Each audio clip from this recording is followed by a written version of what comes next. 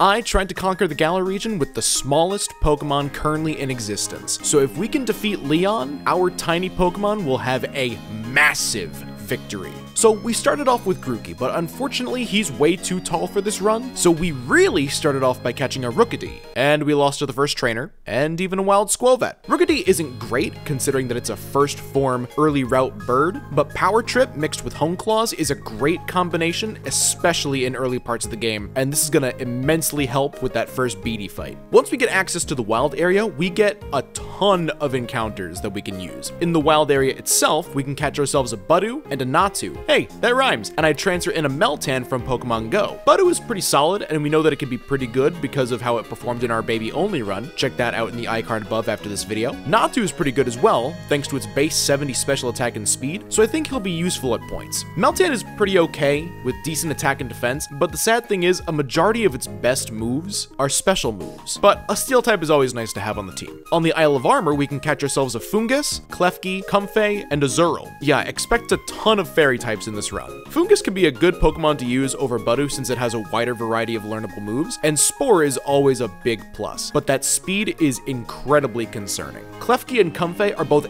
excellent support Pokemon, and I'm really excited to use them. Klefki's Steel and Fairy typing gives it a ton of resistances and immunities, and its Prankster ability can give us priority on great moves like Charm, Reflect, and Light Screen, whereas Comfey's Triage ability gives us priority on all kinds of healing moves. So I'm really excited to try giving these two a shot. And Azurill can be okay. It does get some water type moves, and it's got an attack boosting nature with huge power, but it doesn't get stabbed from those water moves since it's a normal fairy type in this game instead of the water fairy type that I desire. On Route 4, we catch ourselves a Joltik, Milcery, and Cutiefly. Joltik's electric typing will give us some good coverage along with its bug typing, and its really high speed is going to be resourceful too. So I can think of a few situations where we could probably use him very effectively. Milcery is another fairy type that we can use, but I think its only real appeal is that it's got okay special defense. With Pokemon like Klefki and Comfey, I didn't really see much use for it. Cutiefly, again, another fairy type, is one that I'm actually really excited to use though. I've always wanted to use a Ribombee, and this is an excellent opportunity to be able to do so. It's got some pretty good special attack and speed, but we sadly got one with Honey Gather instead of Shield Dust. Since Milo only has two Pokemon, the rules state that we can go into the gym with only two Pokemon. But since we have two Steel types in our party that resist both types of moves that Milo's Pokemon have, I'm not that concerned at all. From doing raids in the wild area, I was able to find myself a TR for Dazzling Gleam, and I put it on Klefki, and that mixed with learning Metal Sound prior to the gym meant that we could easily lower his team's special defense to minus 6 and sweep. Our next encounter is just east of Turffield, and let me tell you, I am excited to use this thing for some reason. Applin's not a great Pokemon, seeing that it can only learn two moves, Withdraw and Astonish, but that doesn't mean it can't learn anything else. By heading over to the Isle of Armor and getting Clara's dojo outfit back, we unlock the ability to teach new moves exclusive to the wild area to our team in exchange for Armorite ore. And thankfully, Applin can learn the new grass move, Grassy Glide. It's pretty strong for this point in the game, and if we ever are in grassy terrain, it gets extra priority. There's not a lot of opportunities for us to use that side effect, but it's good to have thanks to the synergy it now gets with Comfey. The only downside to getting this move is that we're also given the experience charm, so now we get even more experience from battles. I really hope that this doesn't come back to bite me.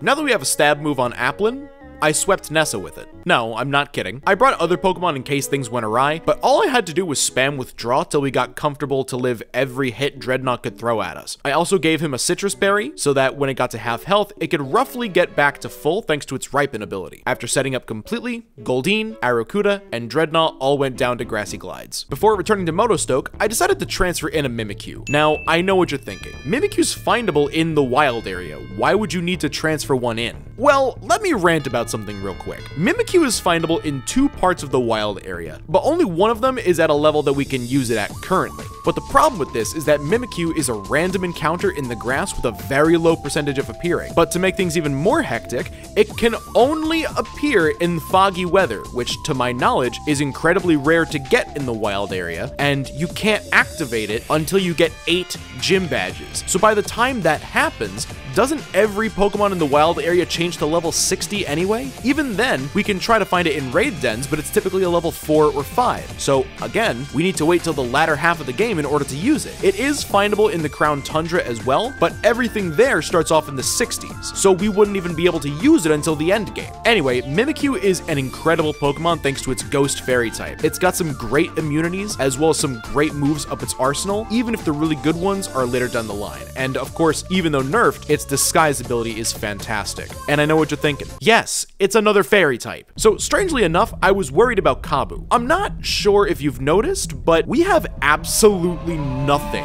for fire types. Our best bet, and I use that term incredibly loosely, is Azurill, but it's not a water type. So I doubt Waterfall will do too much damage, even with the attack boosting nature and huge power. Our only other water type that we can use in this run is Wishiwashi, but it's only smaller than a foot in its solo form. Once it hits level 20, that's when its schooling ability activates, and then it becomes bigger than a foot. So unfortunately, we can't use it. What actually helped us with Kabu was Comfey. We were luckily able to get Leech Seed just before the gym, and that that gives us our chance to claiming victory. Leech Seed saps 1 8th of the target's HP each turn, so if we do some relatively cheap tactics and protect to get the most out of Leech Seed, we can emerge victorious. We took down Ninetales with Natu thanks to Confuse Ray and Nightshade, but we decided to stay in to see if we could possibly set up a Reflect. Sadly, we don't, because Arcanine takes us out. We do send in Comfey and get up a Leech Seed as he goes for agility and tries to burn us, but thanks to Draining Kiss and Protect, we take down Arcanine in due time. As Centiskorch comes out in Gigantamaxes, we set up another Leech Seed and it hits us with a Max Flutterby, which surprisingly didn't do as much as I thought, but we did the same thing with Arcanine and stalled it out with Protect and Leech Seed. Upon arriving in Stow-on-Side, we have a rival battle with Hop, but he was pretty easy here. After taking out his Cramorant, Silicobra, Toxel, and Drizzile, I make my way to the Glimwood Tangle, since there's a small patch of grass that we can access before taking on the fighting gym. Here we can catch ourselves a Sinistea, who will eventually be able to evolve into a Polteageist. I'm actually really excited to use this guy. It has some great special attack and speed, and will eventually get access to Shell Smash, one of the best setup moves in the game. Bea, as you can imagine, was actually pretty easy, seeing as we had, what, like seven fairy types at our disposal currently? Yeah, she didn't stand a chance. Hitmontop, Pangoro, Sirfetch'd, and Gigantamax Machamp all went down incredibly easy. Before heading to Ballonlea, I made sure to go pick up the cracked pot in Stow-on-Side so that we could evolve Sinistea into Polteageist. I never knew that this was actually findable. I always thought that you had to buy it from the merchant. I also managed to snag a TM for Cosmic Power for Natu, which can do absolute wonders for us damage-wise if I had actually remembered to relearn Stored Power. After picking up the Eviolite, I fought Opal, and she was pretty easy too. Natu was able to take down Weezing thanks to Nightshade, Meltan took care of Mawile and Togekiss thanks to Thunderbolt, and then Gigantamax Alcremie went down thanks to Klefki. This was pretty easy, but Klefki was getting dangerously close to passing the level cap before this. Gordy wasn't too bad as you can imagine. We have a ton of Pokemon with grass moves, so he really wasn't too difficult. Barbaracle was an easy OHKO with Giga Drain from Polteageist, and I admit I got a little cocky here. I really wanted to see if Applin could sweep again like with Nessa's gym, but alas, it got taken down due to Shuckle doing too much damage with Struggle Bug, which is a sentence I never thought that I'd actually be saying. After Shuckle went down, we decided to burn Stonjourner with Polteageist and continuously lower its attack with Strength Sap. This strategy isn't the smartest one I've used in this run, because it's all thanks to our weak armor ability. It lowers our defense by one stage, but doubles our speed whenever we're hit by a physical move. So while we are weakening the enemy, depending on the Pokemon, the differences in damage isn't drastic. We were able to take down Stonjourner, and Coalossal was actually pretty manageable thanks to paralyzing it with Ribombee. And then we took it down with Leech Seed, Draining Kiss, and Protect strats with Comfey. Like Bea, you can imagine that Piers gave us no issues. Scrafty, Malamar, Obstagoon, and Skuntank went down pretty easily, but good god, we are getting dangerously close to these level caps. So in order to ensure that Mimikyu didn't get any closer than it already was, I let Skuntank purposefully take it down. Raihan was pretty easy, mainly because, again, we have a ton of fairy types at our disposal. I decided to have Comfey, Leech Seed, Gigalith, and Flygon to get a ton of recovery each turn, while also setting up a Reflect with Klefki, since I know Flygon is most likely going to go for Steel Wing as much as it can. As Flygon goes down, he sends out Sandaconda, and I never prioritize this thing, so he paralyzes a bunch of my Pokemon. So after paralyzing Comfey, we weren't able to Leech Seed Duraludon. After Klefki gets paralyzed, we set up a Reflect again, and Miss Will-O-Wisp with Polteageist, so after Polteageist faints, we send in Mimikyu. Leech Seed takes out the Sandaconda, and we charm Duraludon enough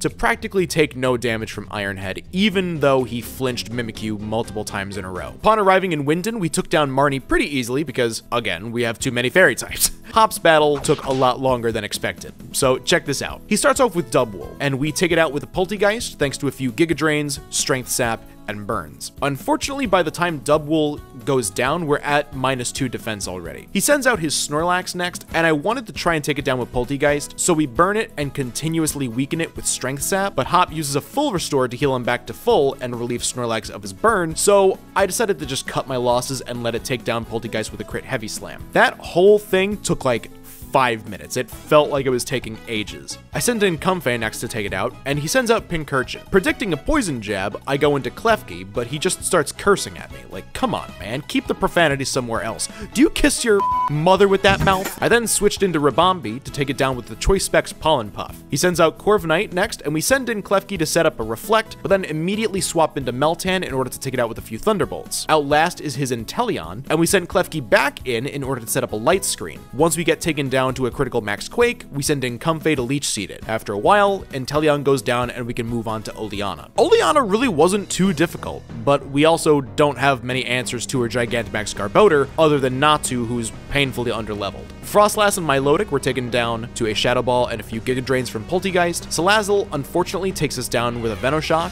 but I could definitely have taken it down with another Shadow Ball, I was just trying to stall. Mimikyu came in and took it down with a Shadow Sneak though. Tsareena's out next, and we get two Hone Claws up before it hits us with a track, so we're incredibly lucky to hit two Play Roughs when we did. Garbodor's out last, and its max moves do a truckload to us, so I let Mimikyu go down after hitting relatively hard with a Shadow Claw. Natu stalled out her remaining Dynamax turns, and we sent in Ribombee, who dodged two gunk shots and took it out with two Choice Specs Pollen Puffs. The finals were incredibly easy. Bede shows up to try and give us his character development. So we do some damage to his Mawile with Meltan, and eventually take it out with a Shadow Ball from Polteageist. After activating our weak armor, we can outspeed everything on his team and do massive damage with Shadow Ball. So Gardevoir and Rapidash go down easily, and we can do some really good damage to Hatterene, but unfortunately we get taken down. Ribombee comes in to do some solid damage with Pollen Puff, but unfortunately we get taken down to a max flare, and then Klefki comes in to take it out with a flash cannon. Nessa was pretty easy too. She starts off with Golisopod, so I led off with Meltan to paralyze it. We do some good damage with Thunderbolt, but Polteageist literally just came out and swept the rest of her team. After sending out Golisopod due to its emergency exit, she sends out Barraskewda, and we take it out with a Giga Drain after taking a Throat Chop, hereby activating our weak armor. Golisopod comes back out, but we activate its emergency exit again again since she healed before, and then we take out Sea King. Golisopod comes back out yet again, and we take it out this time while also taking out Pelipper. We did some massive damage to Gigantamax Drednaw, but sadly we didn't take it out in one hit, so Klefki came in and took it out with a Dazzling Gleam.